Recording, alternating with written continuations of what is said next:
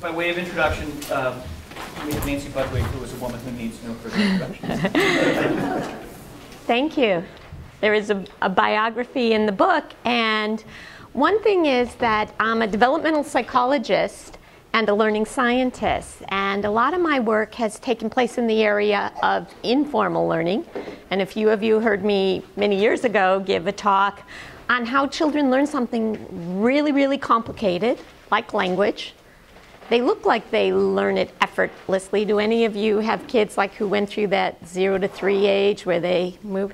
So I've given talks on that, and this time I decided not to talk on that safe topic, which I could do in my sleep.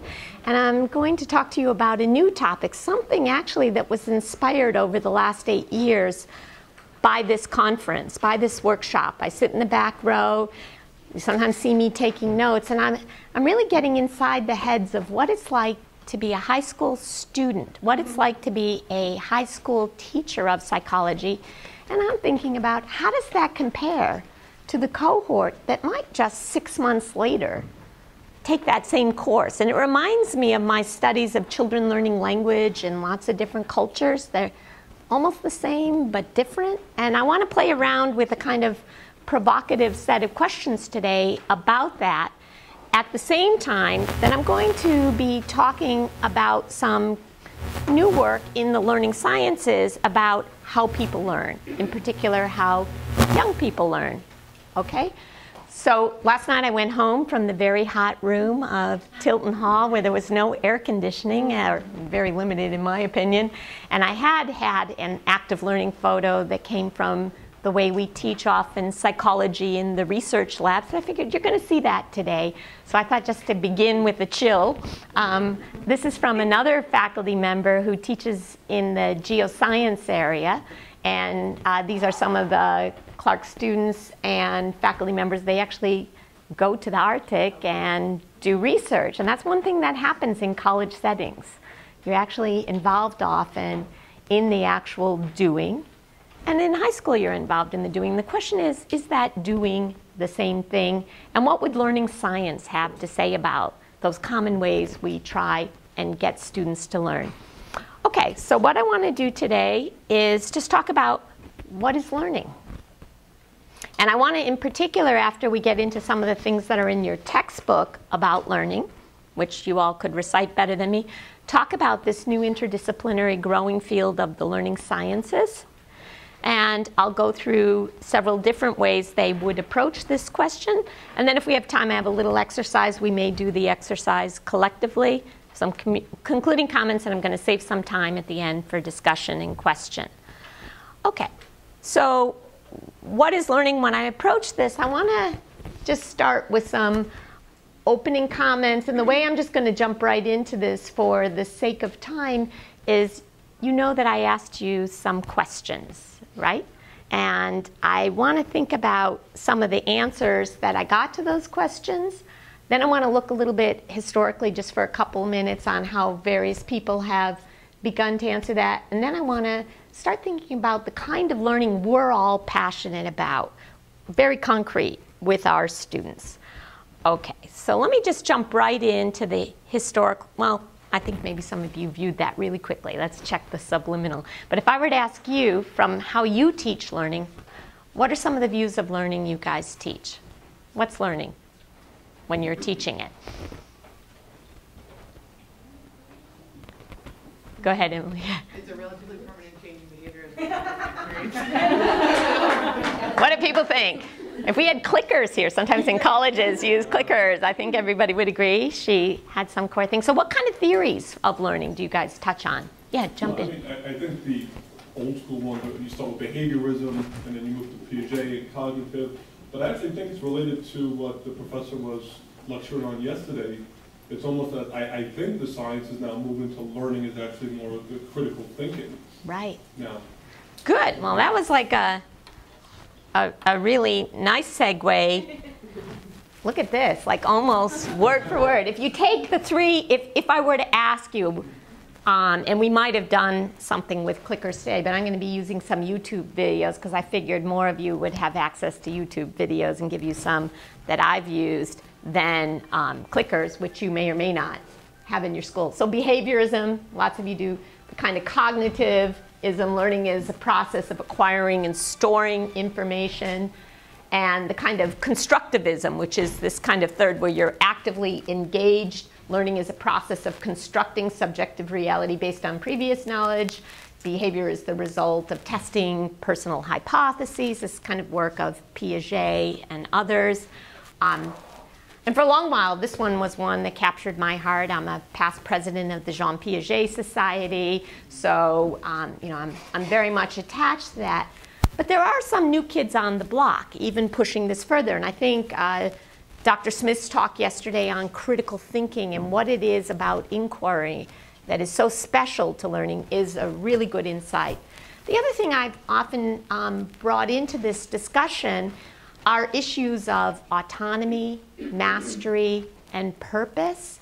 And several times now we've had Wendy Grolnick, a professor of psychology, come in and talk to us. She does work on uh, adolescents and middle schoolers learning and what, it, what motivation means to the adolescent child. And you'll be visiting her lab today.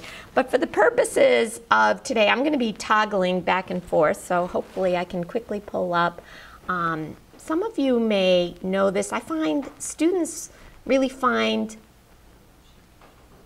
uh-oh, no, that's not, sorry, um, we, there we go, okay. Daniel Pink, have any of you? We're just going to watch a couple minutes of two of his videos. See what he has to say. Daniel Pink. I need to make a confession at the outset here. A little over 20 years ago, uh, I did something that I regret, something that I'm not particularly proud of, uh, something that in many ways I wish no one would ever know, but that here I feel kind of obliged to reveal. Um, in the late 1980s, in a moment of youthful indiscretion, I went to law school. Now,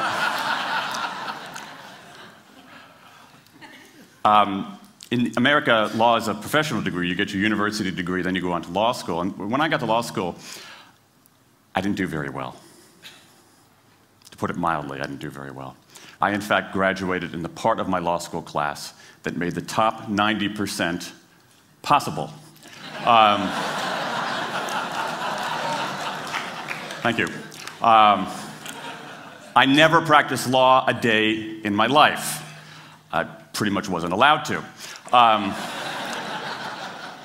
but today, against my better judgment, against the advice of my own wife, um, I want to try to dust off some of those legal skills, what's left of those legal skills. I don't want to tell you a story. I want to make a case. I want to make a hard headed, evidence based, dare I say, lawyerly case for rethinking how we run our businesses. So, ladies and gentlemen of the jury, take a look at this. This is called the candle problem. Some of you might have seen this before. It's created in 1945 by a psychologist named Karl Duncker. Karl Duncker created this experiment that's used in a whole variety of experiments in behavioral science. And here's how it works. Suppose I'm the experimenter. I bring you into a room. I give you a candle, some thumbtacks, and some matches. And I say to you, your job is to attach the candle to the wall so the wax doesn't drip onto the table. Now, what would you do? Many people begin trying to thumbtack the candle to the wall. Doesn't work. Somebody, some people, and I saw somebody kind of make the motion over here, some people have a great idea where they light the match, melt the side of the candle, try to adhere it to the wall. It's an awesome idea, doesn't work.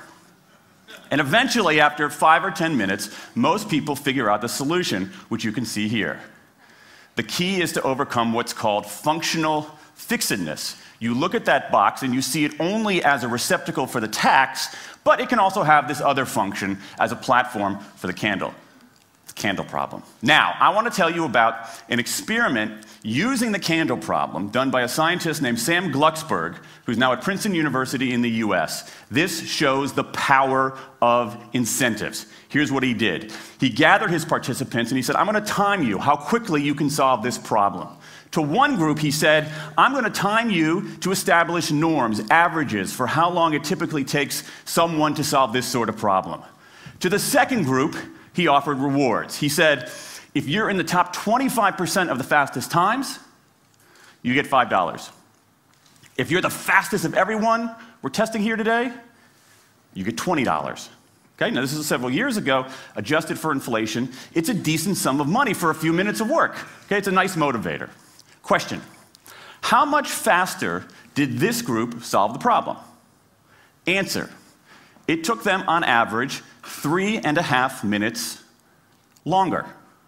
Three and a half minutes longer. Now, this makes no sense, right? I mean, I'm, I'm an American. I believe in free markets. That's not how it's, it's supposed to work, right? Okay, so I think you get the idea there. Um, he, he and others, obviously, he's talking about some of the psychological science behind it, have argued that rewards and incentives don't always work. In fact, he has a very nice, um, ooh, sorry, uh, video, which I really won't play uh, a lot of them. This is one I think students uh, relate to because this one goes into um, the science of motivation 2.0, 3.0. Some of you may have seen this. 2.0 3.0 are different ways to describe an approach. Uh, and I like to use the metaphor of the computer operating system. The computer operating system is a set of software and instructions that run beneath the programs. It's a set of assumptions and protocols that allow what's on the surface to actually operate. And I think society. He goes on to say that uh, the operating system that we need is a much newer one. So he's making that kind of cognitivism, you know, the mind is not a transfer of knowledge kind of thing. It really has to do with motivation and affect towards learning. And as he goes on here, he goes on and he actually relates it to students. It's a great conversation starter. Uh, adding up columns of figures in a white collar office. The problem is, is that that approach to motivation doesn't work for the more sophisticated, complex, creative things that people are doing today. And you know what happens when a motivational op- when any kind of operating system can't support the programs it's running? It crashes. And I think that's what we're having. We're having a series of crashes because we're using the wrong operating system, and we need to upgrade to Motivation 3.0, which is an operating system built not on this reward and punishment drive, but on our inner drive to direct our own lives, contribute to the world, and get better at things that matter. I think that these principles apply to motivating student performance and, and satisfaction. I mean, I mean, these principles of autonomy, mastery, and purpose, this idea that we have these other drives that lead to uh, effectiveness and high performance, is, is a fact of life for humans, whether they're humans who are 46 or 16. And so then you get the idea there. So what he's arguing, if you think about the slide where we have behaviorism or cognitivism, even constructionism with its intentionality on the part of the individual doesn't always pull up on some of the newer work that talks about purpose and motivation and autonomy. There's a growing literature on that. I think many of you have intuitively, even before you read about the psychology of it, it's something if you're a a practicing teacher, you know that if you aren't engaging the affect of your students, if they aren't motivated to learn, if they don't know why they are learning something, it probably isn't going to work. And so I just wanted to start there, but I thought, well, maybe there's some skeptics and they say, I'm not sure if all of these ideas are what we think. So I thought of asking you, think about a time. We, yes, Peter. Um, so mastery, autonomy, and what was the third one? Perfect. Okay, aren't they just different types of positive reinforcement? Isn't it really a behaviors thing? The reward is a less extrinsic and more intrinsic, Intrinsic. psychologically or emotionally That's a good satisfying, but it's not it's not dollars and cents. But I can't see any difference in terms of like, okay, you do this, you get the reward. Mm-hmm.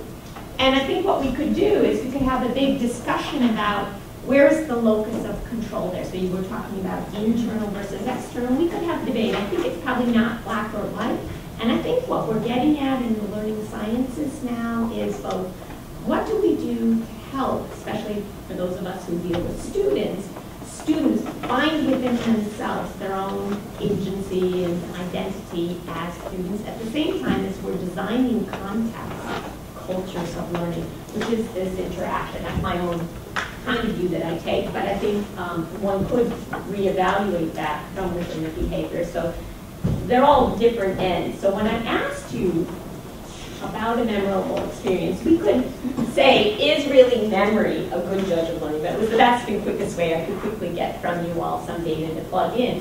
What I did is I just looked in your answers yesterday, like how many of you said something that was memorable was really something that came from some kind of version of behaviorism, cognitivism, constructivism, or other? It's not perfect because it's kind of hard to think of the examples of behaviorism and none of you actually talked about it. But a lot of you talked about this kind of information transfer, like um, most notably, you know, things, lectures that were particularly salient where a professor talked about X, Y, and Z when you were in college. Or, Dr. Durrell, you actually talked about a kind of negative affect related to cognitivism, where somebody was droning on, as I remember it, and you couldn't actually exert any kind of involvement in a lesson. Um, and actually, this scheme became a little problematic because many of the answers that you all gave were hybrids between a couple. Constructivism really had to do with those of you who talked, especially about some of your students liking lessons where they were actively engaged with figuring out hypotheses and they really got to test something out. But actually what was really, really interesting here is both with regard to your own learning and to some of the others, this other category. And the others, because many of you made up that category, talked about your mastery, the purposeful learning experience that you had or a student had, actually being able to connect it to the real world, um, engaged learning, which I think as Peter has pointed out, could be woven into some of these, but actually in some ways brings up new theories of learning that we might want to think about. Like how are we going to account for that, even if it means that we might need to revise some of our thinking about locus of control. And so I just do this by way of introduction to give ourselves a sense that although most of us, when we're teaching intro to psychology, don't get much behind and beyond some of the behaviorism, cognitivism. For a person like me, for my colleagues, when we are actually working on this work, it's much, much more complicated. And we can think about that as we think about, at a separate level, not only how we teach it, but how we enact our own folk theories of what learning is and how we design our classrooms. So this is an issue that I've gotten um, very obsessed with. Um, on the left-hand side, these are um, pictures of high school learning. Not always, but would you recognize yourself? Does this look a little bit like how you do it? This is, even at a place like Clark, many liberal arts schools, we don't have a room this big, but um, intro courses tend to be rather large. And we can think about why it is originally, or how we came to set this up, and what it tells us about our implicit theories of learning. So if we think about this, let me just go here, and I, I thought what would be interesting is just take a second and think from the perspective, not so much from when you acquired psychology, um,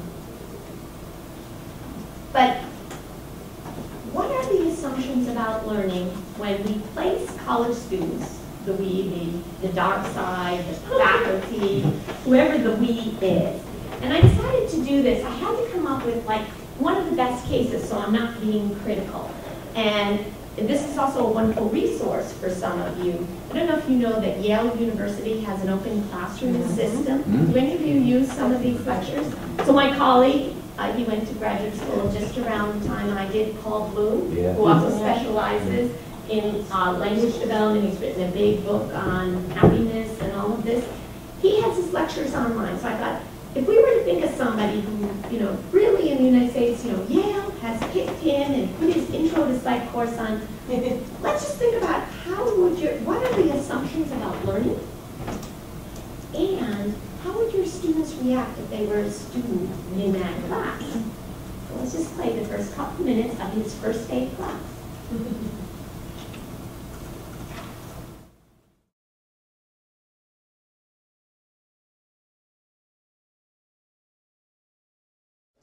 I'd like to welcome people to Introduction to Psychology. My name is Dr. Paul Bloom, and I'm the professor for this course. Uh, if you haven't yet picked up a syllabus from the front of the class, please raise your hand. Are, are we out? Are we at a syllabi? Oh, please raise your hand, and one of the teaching fellows will bring it to you if you don't yet have a syllabus.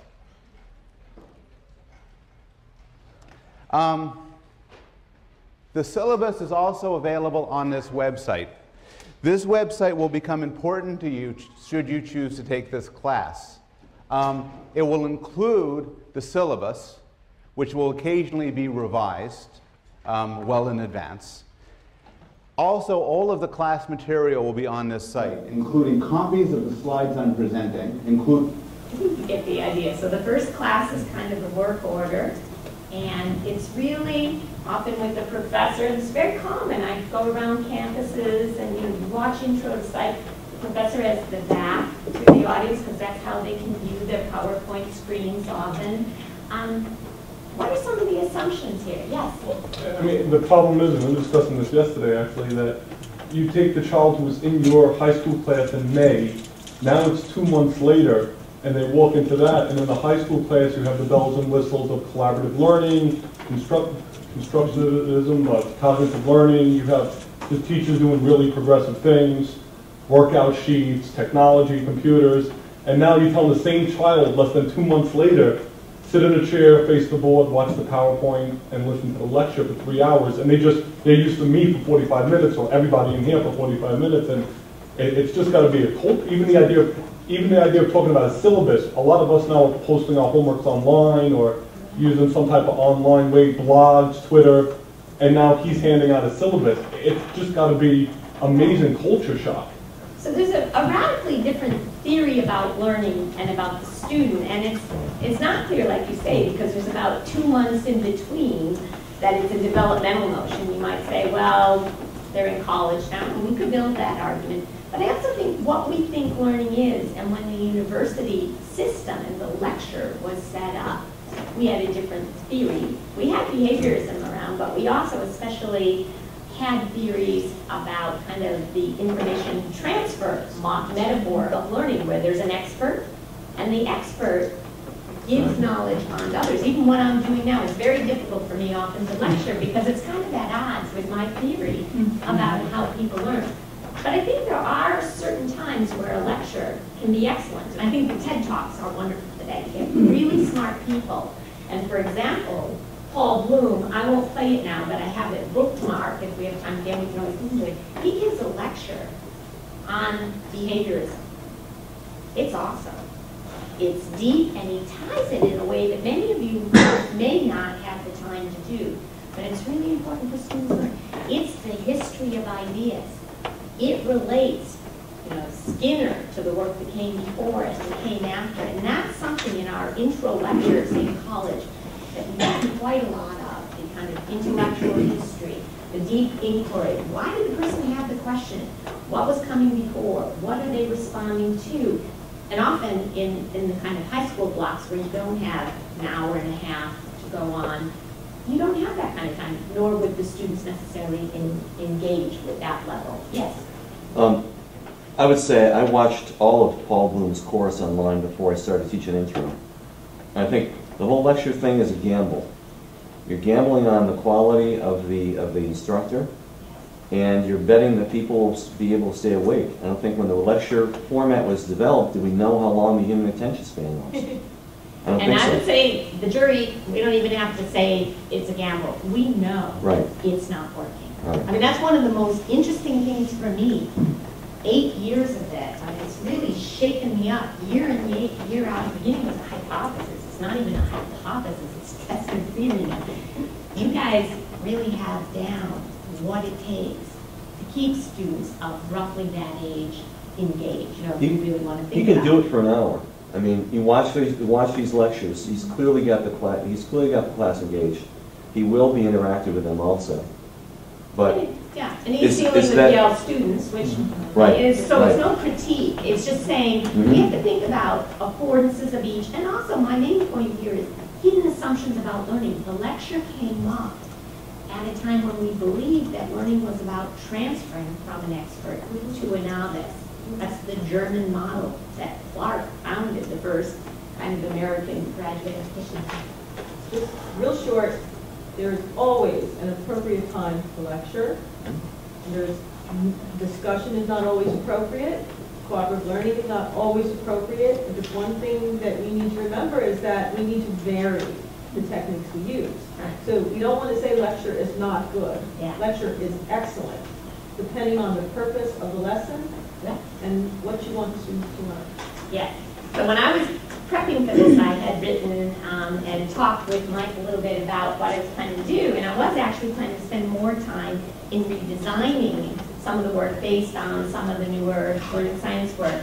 And actually, you made the comment that, you know, people actually want to hear some of the work and not just work with each other, and there are other sessions for that. And, and I think, in general, we all can use moments and using it at the right time. So let me push along here, and what I want to say about this then is, this is just my intro. It's like, we, we have different assumptions. So why is it that many of you do this more engaged learning, this other category, this affect? And I think it was um, something that becomes very transformative for students of different ages when they actually get very, very involved in the very questions. And what does that mean? Those are some of the issues that I want to get involved with. So we kind of talked about the technical treatment of learning. You can go onto YouTube if you want to see it. Uh, the uh, lecture four by Paul Bloom gives an excellent discussion of learning, the history of learning. You can pull out couple of minutes on that. But I want to turn to the other four kind of issues from the perspective of the newer work in learning sciences. Just what are some snippets of it and how might it impact any of us who deal day in, day out with students? And I want to start way back with implicit learning and the brain. And again, I'm just going to pull from somebody who I think is really, really good at describing that, Patricia Kuhl, and tell you a little bit. Yeah, this is a book I brought in, and I included in your reader the first chapter, which gives an overview. This is an awesome book. The author is a good friend of mine, Keith Sawyer, um, and it summarizes lots of the trends. We only have a few minutes today, but I think it's important to start with babies and think about how sophisticated they are. Sometimes we underestimate how much students can do. And when you think about what they're doing and what work like hers has shown, experimental work, what babies mm-hmm. are capable of, it always reminds me, I, I watch that all the time and think about it when I go into a graduate class or a college class because it reminds me that. I also love thinking about informal learning. What does the research on informal learning, learning outside academia, teach us about how people learn? And how might we group that in? I think intuitively, many of you have already begun pulling on that. And then formal learning, research that tells us how within academic settings, how expertise develops and what we know about adaptive expertise, really about finally how, what are the mechanisms for making learning happen. I'm just going to briefly touch on some of these.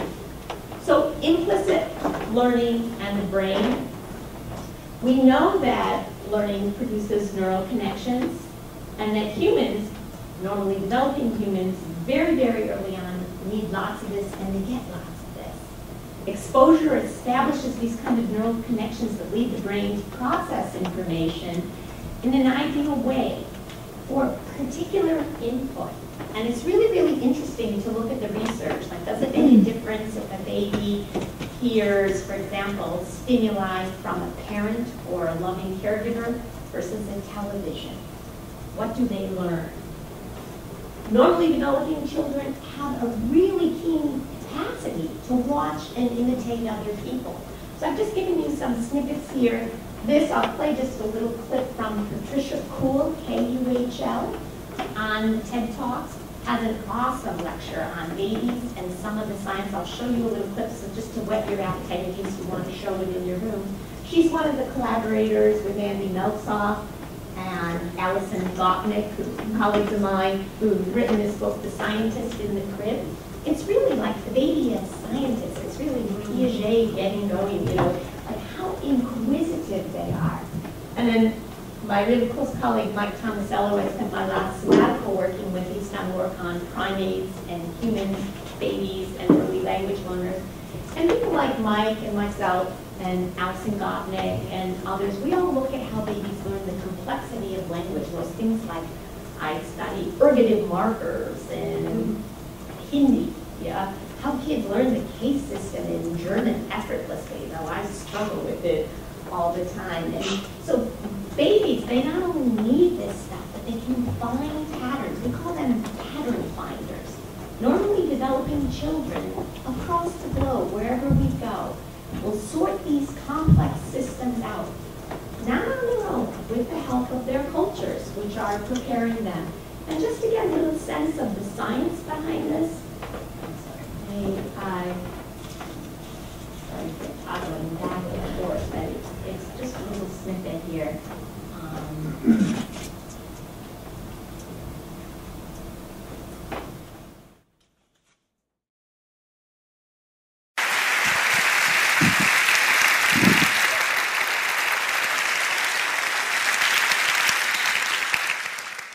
I want you to take a look at this baby.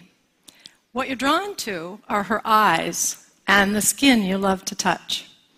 But today I'm going to talk to you about something you can't see. What's going on up in that little brain of hers? The modern tools of neuroscience are demonstrating to us that what's going on up there is nothing short of rocket science. And what we're learning is going to shed some light on what the Romantic writers and poets described as the celestial openness of the child's mind. What we see here is a mother in India, and she's speaking Koro, which is a newly discovered language. And she's talking to her baby. What this mother and the 800 people who speak Koro in the world understand that it, to preserve this language, they need to speak it to the babies. And therein lies a critical puzzle. Why is it that you can't preserve a language by speaking to you and I, to the adults? Well, it's got to do with your brain. What we see here is that language has a critical period for learning. The way to read this slide is to look at your age on the horizontal axis. You've done that. And you'll see on the vertical your skill at acquiring a second language. The babies and children are geniuses until they turn seven, and then there's a systematic decline. After puberty, we fall off the map. No scientists dispute this curve, but laboratories all over the world are trying to figure out why it works this way. Work in my lab is focused on the first critical period in development, and that is the period in which babies try to master which sounds are used in their language. We think by studying how the sounds are learned, we'll have a model for the rest of language, and perhaps for critical periods that may exist in childhood for social, emotional, and cognitive development. So we've been studying the babies using a technique that we're using all over the world in the sounds of all languages. The baby sits on a parent's lap, and we train them to turn their heads when a sound changes, like from ah to e. If they do so at the appropriate time, the black box lights up and a panda bear pounds a drum. A six monther adores the task. What have we learned? Well, babies all over the world are what I like to describe as citizens of the world. They can discriminate all the sounds of all languages, no matter what country we're testing and what language we're using. And that's remarkable because you and I can't do that. We're culture bound listeners. We can discriminate the sounds of our own language, but not those of foreign languages.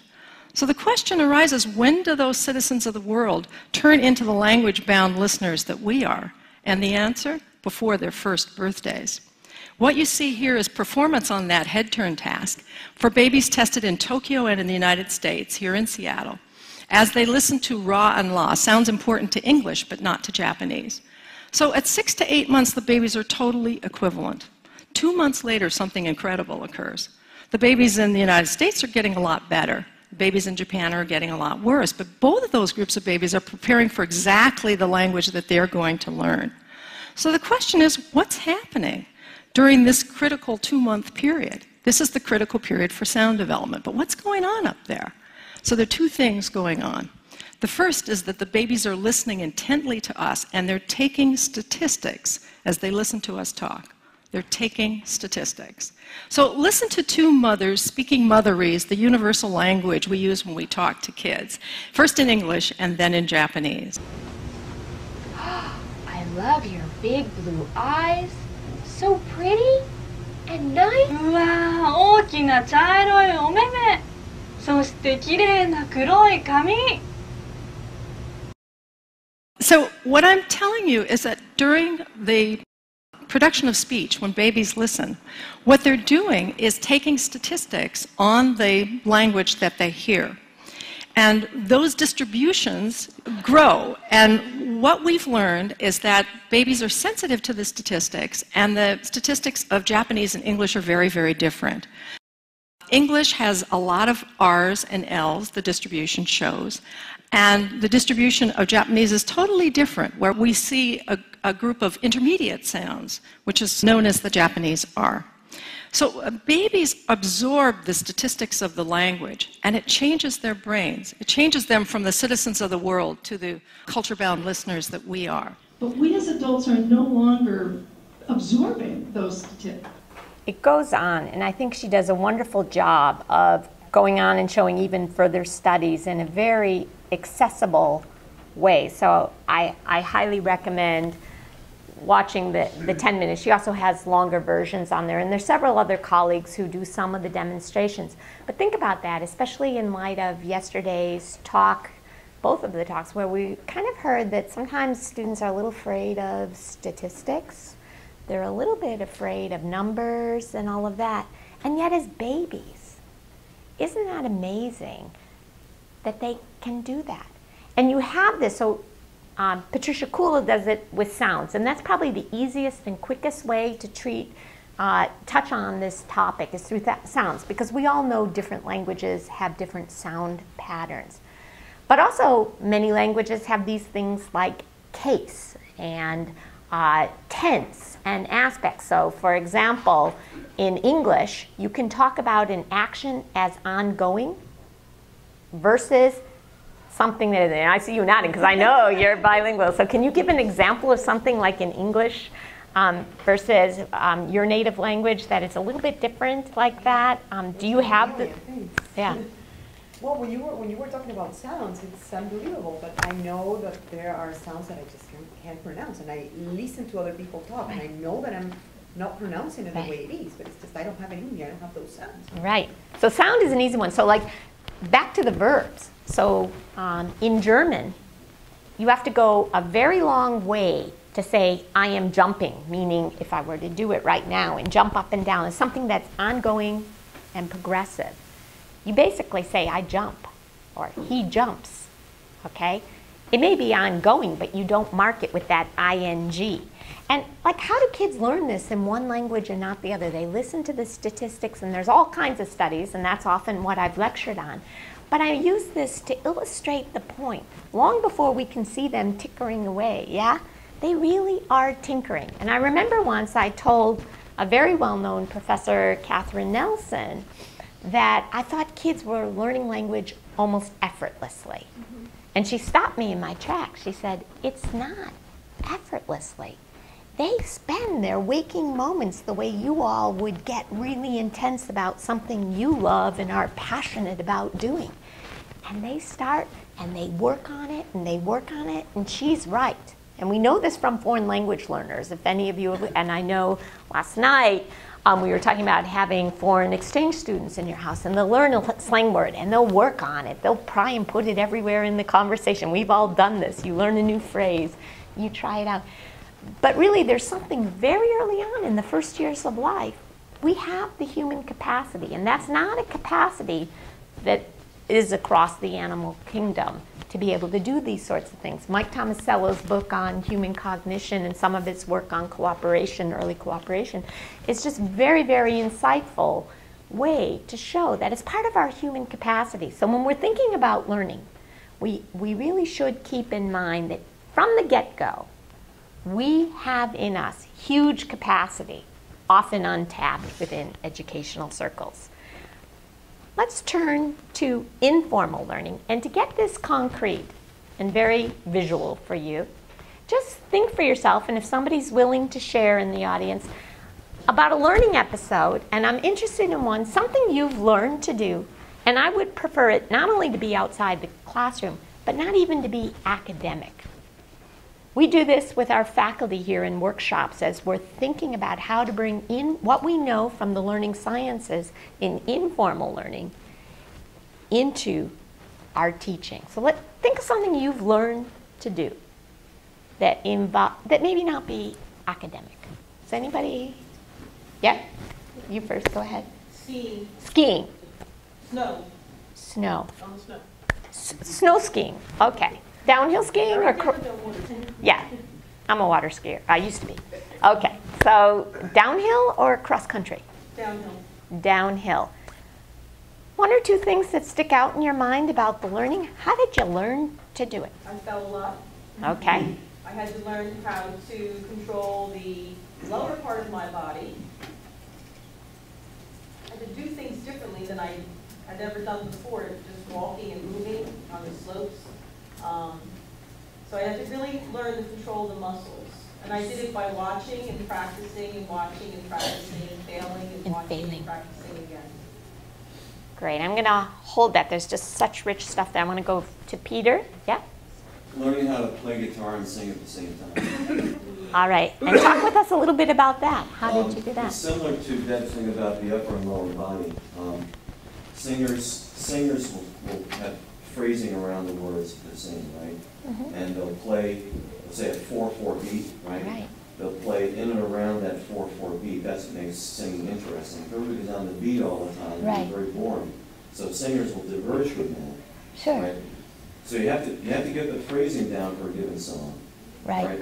Then what you have to do is, is match that almost exactly with what you're playing guitar. Right. That is the chordal background, so you have to maintain a rhythm in your mind. Right. All So when when you did that, how did you come to that? Was that like your own? Were you in your room practicing that, piecing it together yourself? Were there experts helping you? Did you take? I was in a soundproof area because nobody wanted to hear that. Okay. And Nobody Safe want to hear zone. That's a wholly sort of not pleasant thing to hear somebody trying to get both their sides of the brain to work together with them. It's interesting when you work on these kind of things, and, and I really encourage people to talk about informal learning, things you've learned. Some of the similar characteristics will come up, like failing, getting it wrong, over and over. It takes a ton of practice. Mike? I think uh, Peter's music example, like the phrasing, the vocal phrasing is, just such a great example of uh, informal learning because you're, you've all heard songs forever. And you have a feeling of someone who does something with a song that someone else didn't do. It's the same words, Yeah. it's the same melody, it's the same, but you get a feel for good phrasing, same with sense of humor. Right. You're learning things like that, that's all informal learning from the time you're, you're aware. And I love what you're playing on there and pulling out, which could be for both of these examples, is the timeline. The way in which experts can almost be implicit in your learning. So maybe each of you were visualizing, you might have known you weren't exactly the same as that downhill skier you aspired to be, but you were going to keep at it. Yes. Just one more thing to play off what Mike said. Um, There's the technical aspect of both singing and playing, that is the chords and the notes, and how you produce the sound out of your, out of your, out of your lungs and the throat and so on. Then there's also the emotional expressiveness of it, right? So you have to get you have to get the feel of the playing. Right. You have to get the feel of the singing. And that's a whole nother whole nother game. Right. So this is why I practice away from people. You know, at first it's like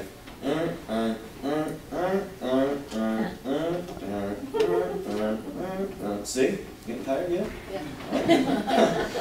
But after a while, it starts to flow into an expressive whole. People will often find me with my little iPad outside our music department over outside the building where you can hear the students doing that. And what may be something you say most people don't want to hear, I love it.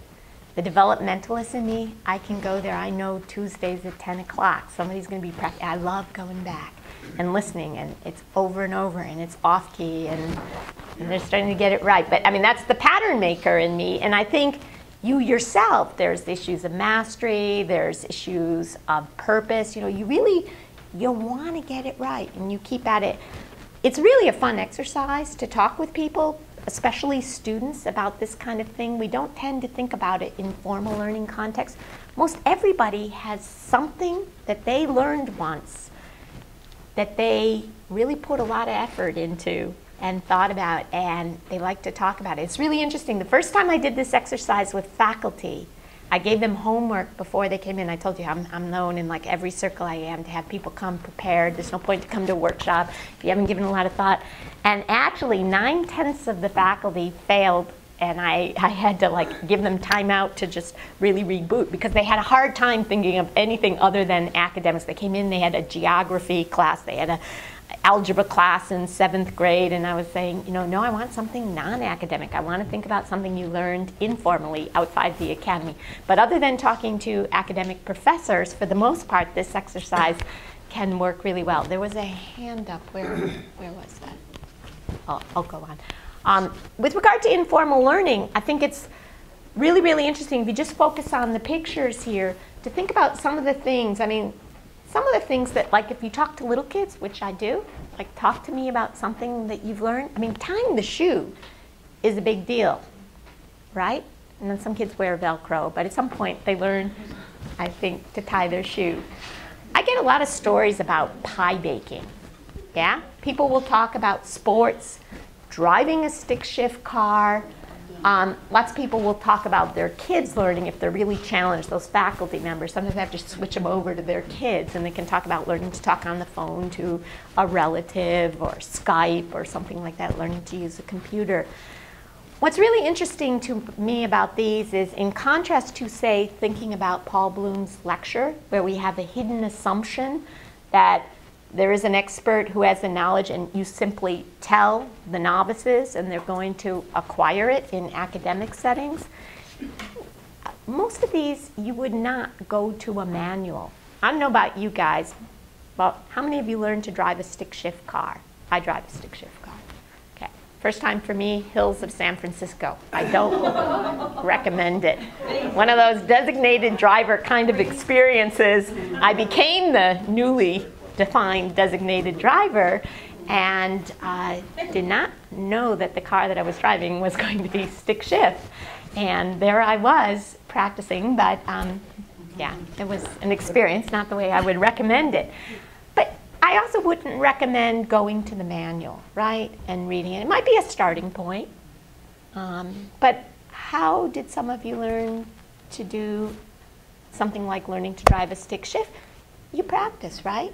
Sometimes you put yourself there. You probably start on the flatlands. Like for me, I took my kids up to the Worcester Airport, which is not functioning anymore. It's a huge parking lot, basically. Let them drive around, let them fail, let them make the kind of noises that nobody wants to listen to on the Worcester roads. And then over time, you gradually increase. You let them do a little lap around a kind of quiet street, a parking lot that's on a Sunday morning not too many people are frequent. So we stage it. There's certain things that we learn. And some of the kind of core features of informal learning that learning scientists have studied, and it seems so obvious, so you guys say, oh yeah, that's obvious, but the studies to me are fascinating. Informal learning is contextual. And what I mean by that is you learn. So when you're learning to ski, the texture of the snow makes a difference. Any of you who come from the East Coast who went to the West Coast and tried downhill skiing? Any of you from the West Coast who came to the East Coast, let alone the Midwest? These are different experiences. It's highly contextual, and you think about how you move your body. Music, um, sushi. This is an example I get a lot. Anybody here have a hobby of making sushi? Usually I'm in a crowd. Any, any sushi makers? Yeah, so people will tell me stories about how they were really good at making sushi. And then they went out to the west coast, high altitude, and like the rice texture changes, and you've really got to adapt your sushi making to be able to be good at it. So learning, informal learning, is contextual. And what does it mean that it's socially situated? Can anybody give me an example of something they learned in an informal context that illustrates how learning is social? It's a social activity. Anything? Cooking and transferred from, you know, from family member to family member. Right. So Usually in a, and social Right, so you have multi-generational learning, passing on the family recipe, and it has a lot of meaning. Yeah, there's an identity to it, being able to cook, often associated with holidays and customs and get-togethers. That's one example. It turns out that powerfully impacts learning. That's one of the reasons why these travel sort of activities are very, you know, the people who go to the wine country and learn to make wine and bike around, they develop a kind of in group and they keep in touch through social networking and all these work because learning takes place often when you're in a community of practice, when you turn to others. One reason why I think this conference begins to work. People develop and they feel more comfortable by the first or second evening to share.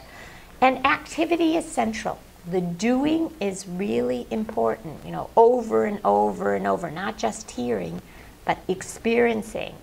And the question that many of us as learning scientists are raising is what can we take from all of this and place into formal learning contexts? Because there's a lot of powerful learning going on here. And we know sometimes in academic settings, the learning's a little more hard to do. And I'd say that's what so many of you have capitalized on, that we are just waking up in the higher ed uh, circles and beginning to think about that not all learning takes place that way. School is really unusual in being one of the only venues, yeah, where you kind of take the learning often out of its continuous experience, yeah, where it is actually done and you do it in a classroom. You don't often practice it. And a lot of what you all are beginning to do is try and engage the student. Now, the question is is what you're doing authentic? Because that's the one thing with informal learning. And we saw some examples yesterday when you two gave activities. I was thinking about when you were giving activities, which of these are things experts might really do? Which of these things engage the student, which is a very important component, and they could learn a concept, but may not match the practice. And it's good to get those balanced out and know, just like with a lecture, what is a good point in a lecture to give a lecture, what is a good point to have an opportunity to do something authentic versus do something highly engaging, although no expert would do. What's authentic? Authentic. An example of authentic, I think, just to go back to what you heard yesterday was when uh, Deb gave the brain um, example, and you talked about the diaries, and the students had to learn all those parts of the brain.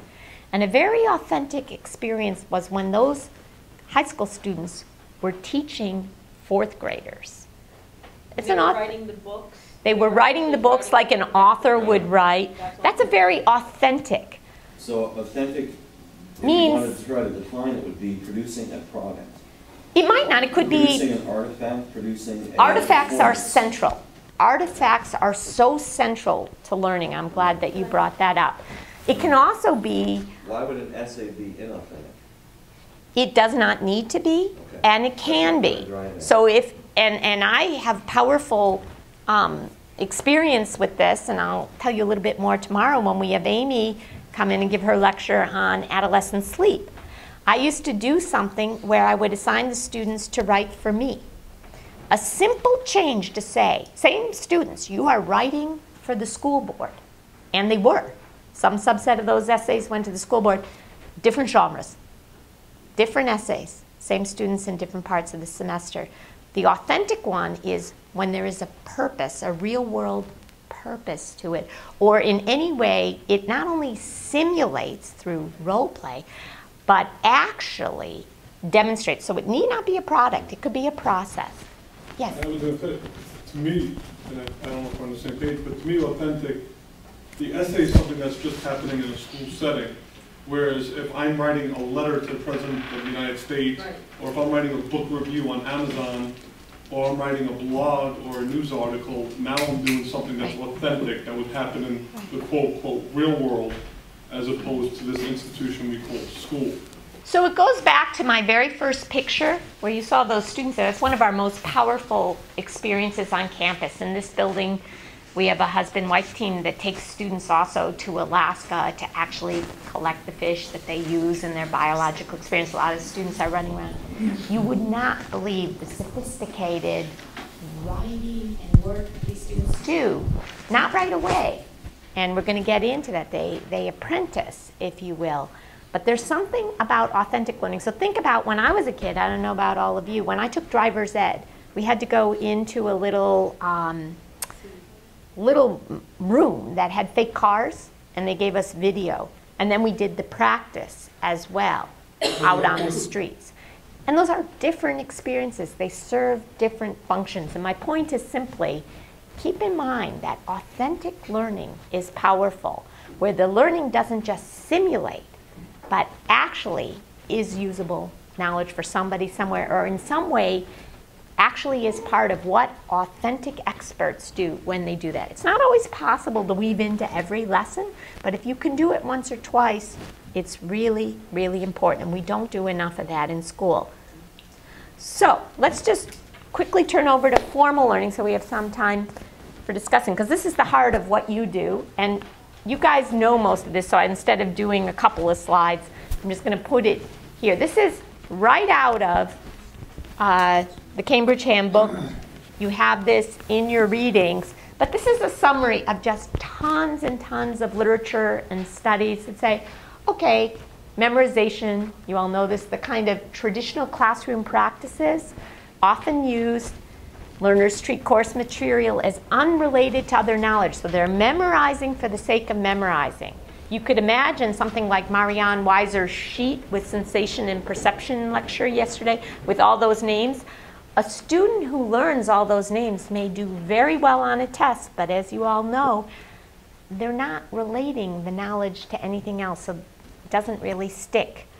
Um, knowledge is treated as facts that are handed down. Remember what I was saying? One of the neat things about a lecture, it allows you to treat knowledge as handed down with a purpose, as connected to other ideas. It turns out learning scientists who study deep learning practices find it may not always just be that they're engaged, but learners who are relating new material to previously learned material do much better in the long run in knowing that material deeply than if they don't. That's probably why most of you are really good at opening and closing your classes with where you are. Um, you, you are seasoned teachers. Not all new teachers do that. Learners, remember what I told you about the babies. They seek patterns and underlying principles from the get-go, almost without any aid. Anything you can do to help play off that tendency is shown in research to help learners. Learners come to understand when they have to talk about. That's like that exercise you did when you actually have to teach something, but also when they dialogue. That's why breakout groups or these triplets where you talk to your neighbor. Having to dialogue is turns out and reflection.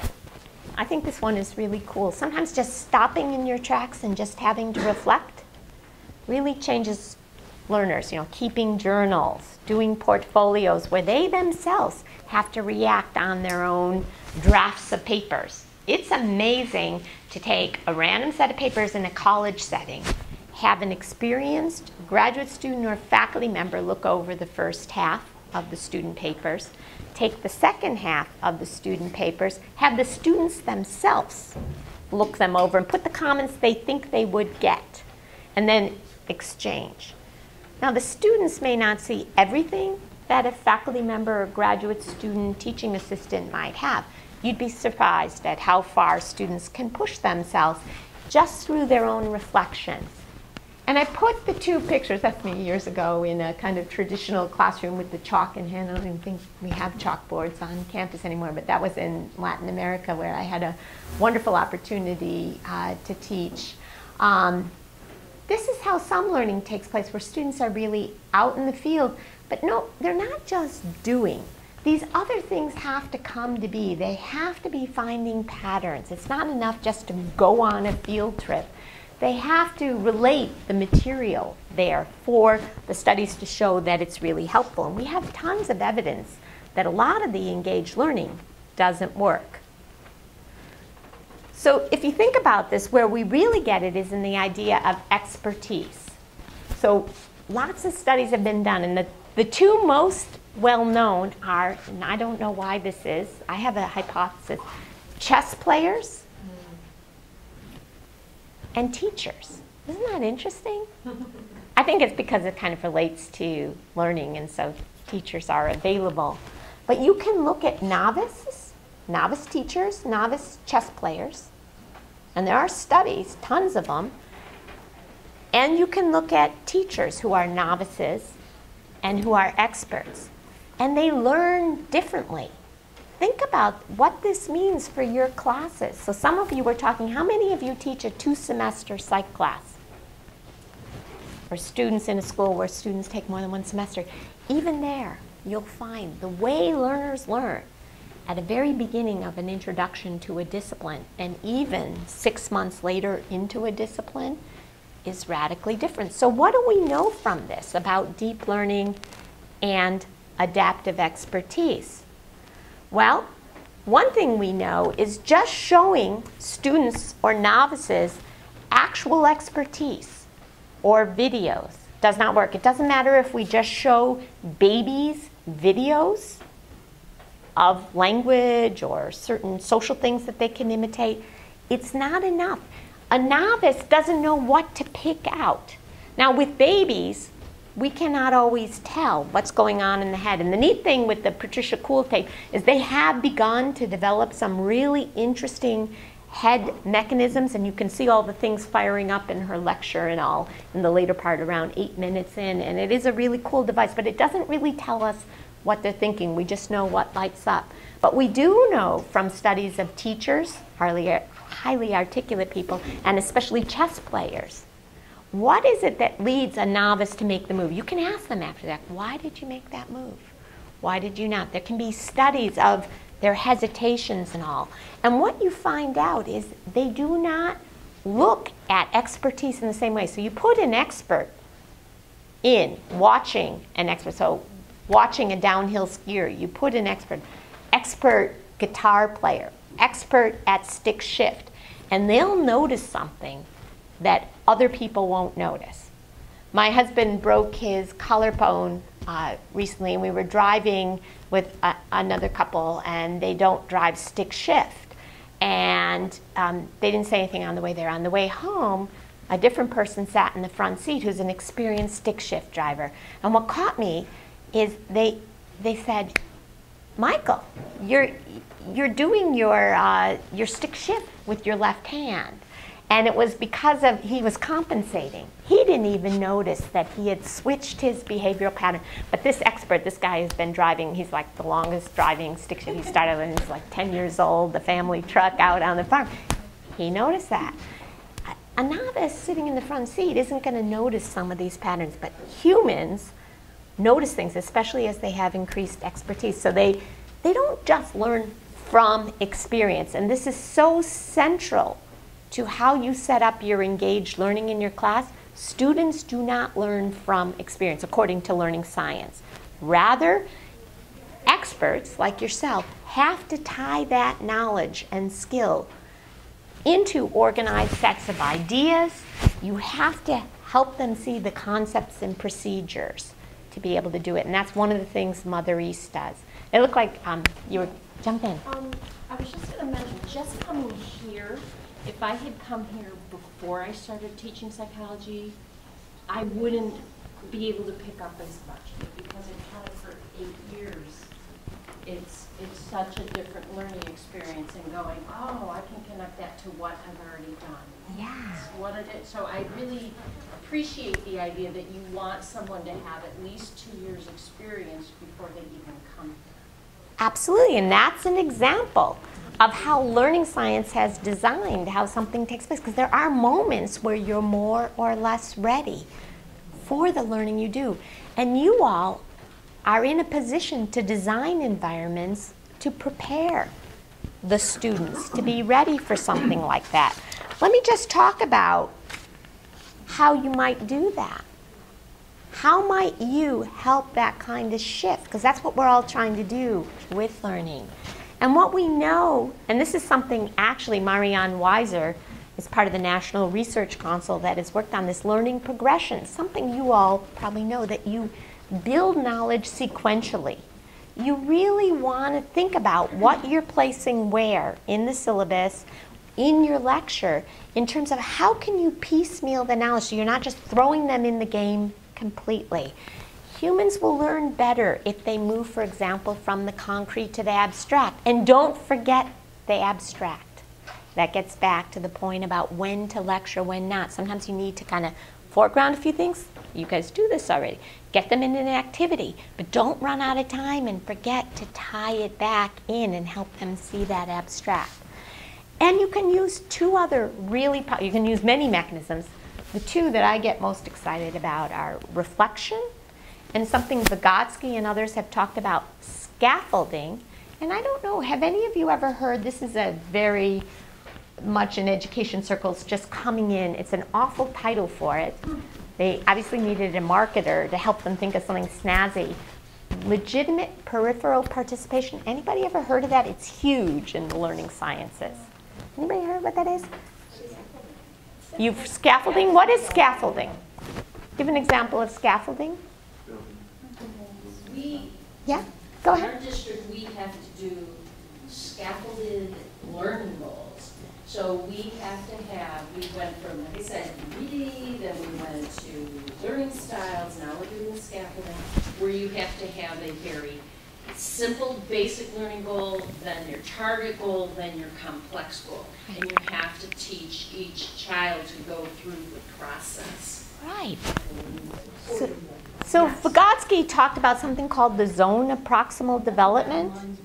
Yeah, vox. Anybody heard about this? So if you go back to the original study, I was about 12 at the time, but one of the first empirical versions of that, I was an undergraduate research assistant on. It was an article by Jim Wertsch, and you'll see at the end in that citation there in Child Development, Budwig, that's me.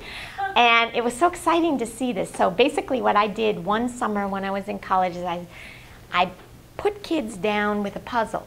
And there was a, a model puzzle, and then there was another puzzle they had to do. And not only did the puzzle pieces fit, but we wanted them to model the colors. It was a cargo truck, and they had to like put the pieces in a certain way. The mother caught on. She knew how to do the puzzle. She had to train her kid, if you will, to do the puzzle. And what you saw was how over time we videotaped them until they could get it right. The mother kind of backed off, and all the children but one, and that, that dyad had some very special issues.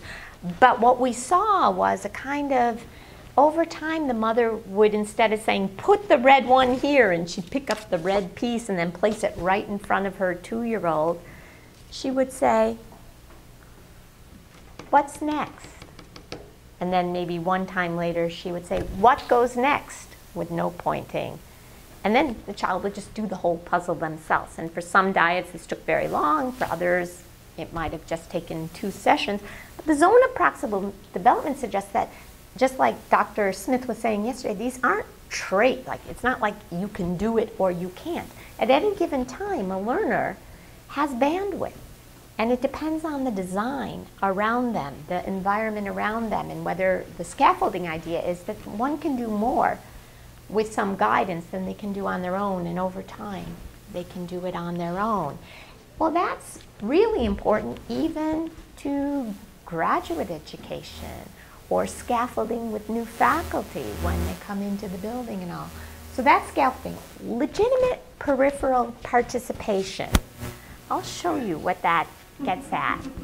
What this says is if you look at informal learning in the learning sciences, how people learn to ski, how people learn to play the guitar, how people learn to dance, there are often times when you're socially situated. Cooking is a wonderful example little kids will be kind of sitting around the kitchen island observing quietly. You're a novice. Novices often watch from afar and increasingly move to the center over time. Think about a dance class. Think about whatever where you have experts.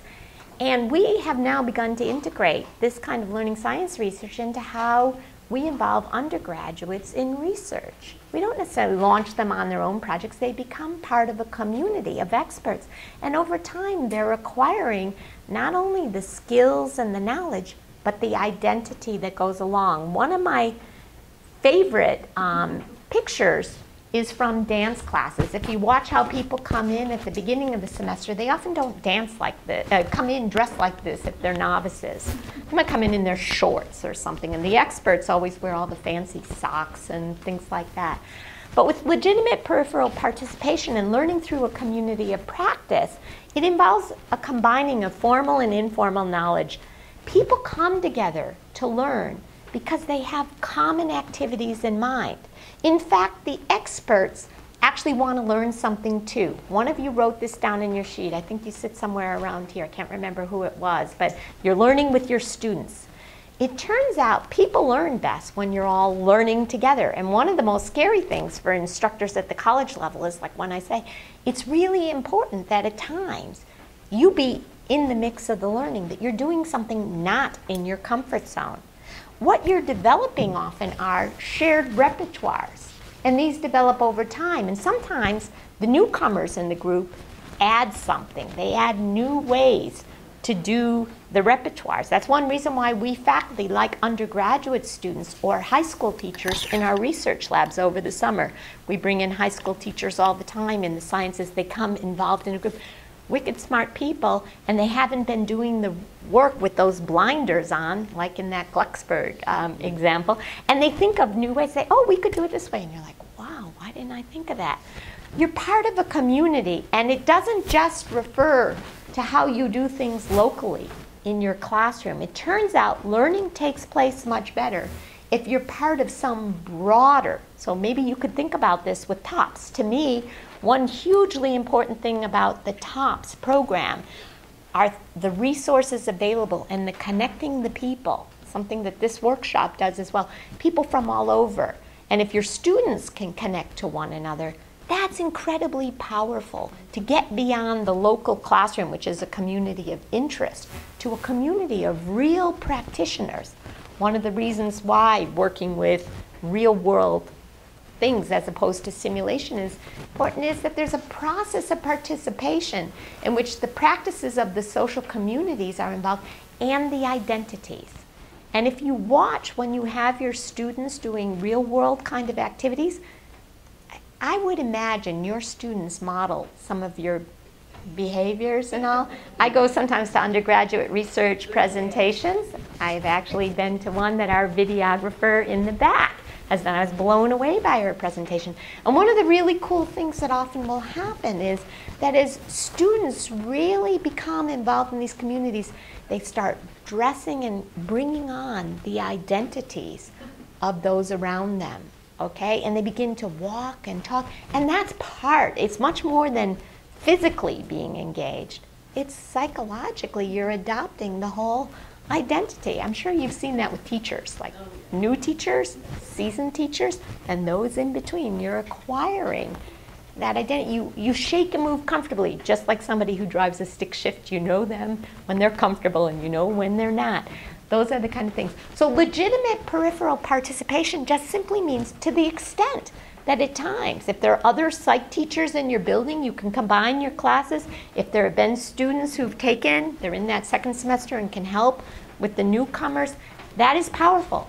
Now, I think it's a little bit more of a challenge in the high school teaching of psychology. We have rich access to allowing undergraduate students from the get-go to get involved in some of the all the way on up but there might be ways to think about that. There might be local universities in which you can get involved and never hesitate to write. I get requests like that from time to time. And to the extent that we can work on something like that, we love it for all the reasons I mentioned. It really shakes us up a lot.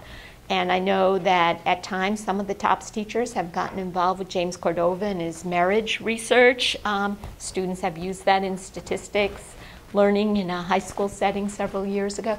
So it's not impossible to try and find ways, but my main point here is simply to understand that it's more than just the doing in the learning sciences that engages students.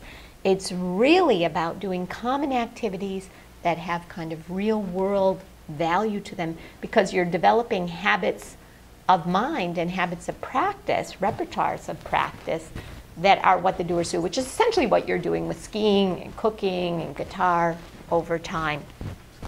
So let me just end here by talking about effective learning. If we look at somebody like Bransford, who's just been one of the big leaders in learning science and thinking about how learning takes place, um, we can use the learning sciences to create learning environments and study the effects of these environments. And one of the things a handful of us are starting to do is really trying to combine the three factors that I was talking about. True learning, we have a lot to learn from each other. We used to work in silos, yeah? People like me, I was on that kind of implicit brain learning, early learning, and we never talked to the people who were doing the formal learning. We didn't even go to conferences together. Um, informal learning, oh, that was more the anthropologists out there, and you know maybe I'd collide with them sometimes. But it turns out many of us are beginning to say, if we could just come together and speak with one another, we have groups where we, we have been working more closely together.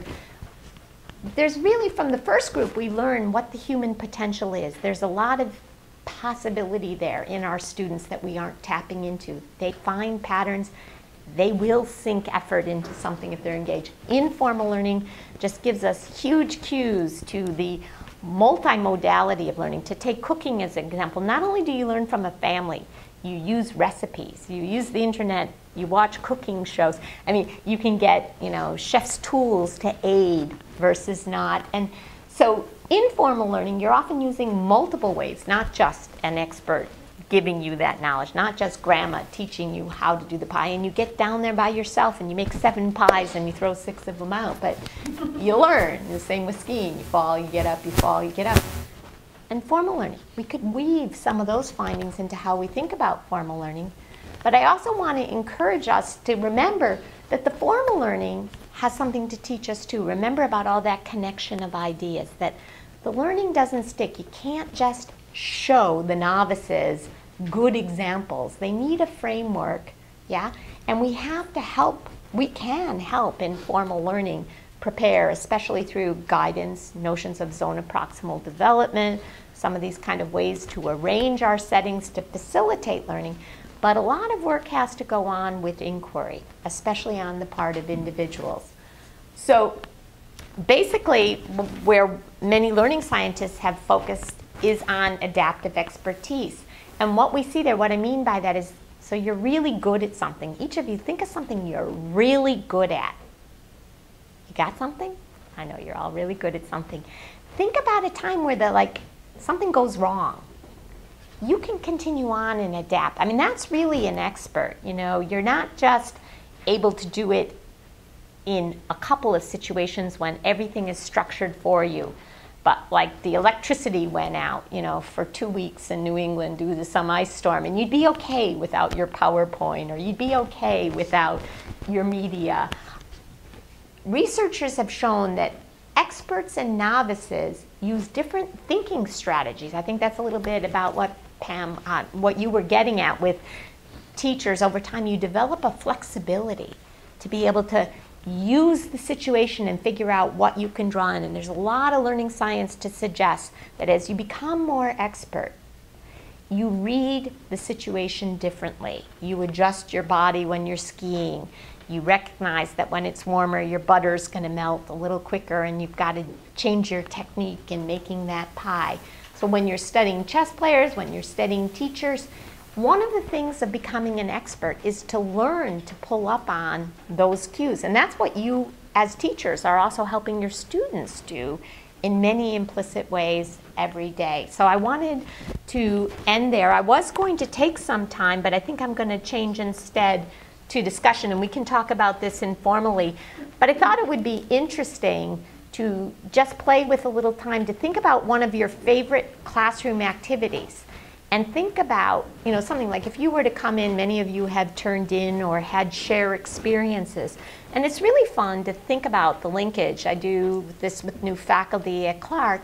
Think about what's your favorite way you know your favorite lecture experience learning experience with students and then think about it from the perspective of the learning sciences. Have you really maxed on everything you could be doing with regard to relating it to students' pattern making, with regard to implicit learning, informal learning, formal learning, and the science behind it. But we'll, we'll skip on that, and I'll just end by simply saying that when we talk about engaged learning, that's a thing I think high school teachers really have cornered the market on. You know, because you have to know, I think, because of your clientele, how to, most of you are experts, um, know how to engage the students, and that is great. And I think oftentimes what college professors can do really well is some of that deep learning, connecting the dots really well in their lectures, but they can't always engage the students enough to help them make use of it. I think we all could benefit by really thinking about the social situatedness of learning and to the extent that we don't just do simulations, but we get involved in the real world practice of helping uh, learners really put their learning to use in helping others, it can be transformative. And one of the reasons is, is it increases their autonomy, their meaning making, and their purpose. And that is really powerful. So I think I'll just end there. Um, I just encourage us all to think about the relationship between formal and informal learning and that it's a two-way street for researchers. That so much of this research seems obvious and that's why I like to bring in the lecture on YouTube because, yes, it's obvious. We all know we learn better when it's engaging, and yet, even in the very best of learning environments at well known colleges and universities, we aren't always making use of it to the max. Sometimes we can't because of the quantity of students. And we really also, I think the provocative thing here is, and we started on this point, what a huge difference there is if you think of that picture of a high school classroom and often, not here necessarily at Clark, but many of your students will be going on to large public universities. What a huge difference that is when you move from a classroom like your own that might meet for 45 minutes to an hour and 10 minutes to a large lecture hall of 600 students, sometimes taking place in two rooms, sometimes by video conference. Um, that's quite a difference, and we need all of us to be thinking about that. I, I, think that's something we all need to be thinking about in teaching of psychology, and it would be fun to think of ways TOPS and the teaching of psychology group at APA could think about that with some of us. So let me just end here. I know we started five, ten minutes late, so I think we can open it up for discussion if anybody wants to. Thank you for being a listening audience.